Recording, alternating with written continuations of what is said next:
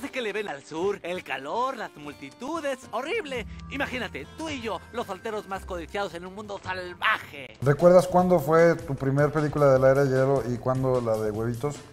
No. ¿No, te- no te acuerdas más o No, menos no el me año? No, no me acuerdo.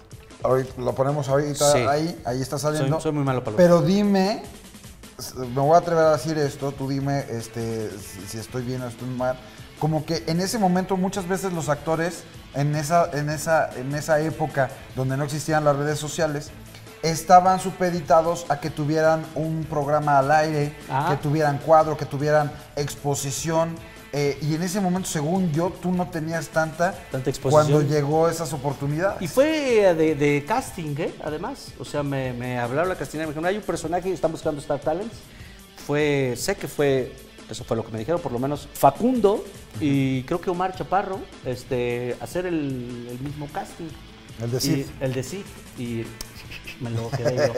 La verdad es que fue un garbanzo de libra. Y encontrarme a Sid, que pues también es un personaje que lo ves y no manches, es súper adorable, ¿no? Entonces, pues ponerle ya la voz. Limpio. Caíste. Ay, ay, ay. Con un cuate que el que lo hace en inglés se llama igual que yo, John Leguizamo. John Leguiz- yo soy Carlos Espejel Leguizamo. Ah, ok. Es, es- es neto, es mi primo. John Carlos Leguizamo es, Espejel. es John Leguizamo y lo escribe igual. Entonces los dos, los Leguizamo, hacemos a, Qué a Sid, chistoso. ajá. ¿Nunca lo has conocido? Nunca, no, no he Así, tenido el gusto de conocer, pero... Habla español aparte. Habla español, además es, es- es un gran actor. Y me da mucho gusto que él lo haya hecho pues, para la zona sajona y yo para toda América Latina. ¿no? Entiendo, estás cansado. Hablaremos en la mañana. ¡Au, au, au, au! ¡Au, au! ¡Mafred! ¡Mafred! ¡Au! ¡No seas envidioso! ¡Muévete! Mani, manito. Mani, manito, ven acá. Ay, pobrecito tiguetito. Es increíble, güey. Yo cuando decía algún chiste o que, oye, y si en vez de eso digo esto, y si en vez de eso. Venía Jacardi, que fue mi director junto con, con eh, Pepe Toño, que seguramente lo has Pepe conocer a Toño Macías.